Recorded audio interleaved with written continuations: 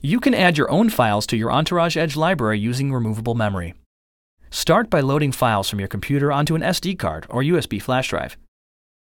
Next, insert it into the Entourage Edge.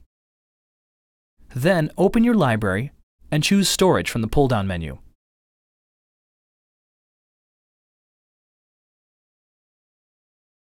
Find your files and select the checkboxes of the ones you want to transfer. Press Add to Library, and the files will be copied to your device. You can store pictures, music, videos, and even office documents in your library. When you're finished, unmount your external memory before removing it.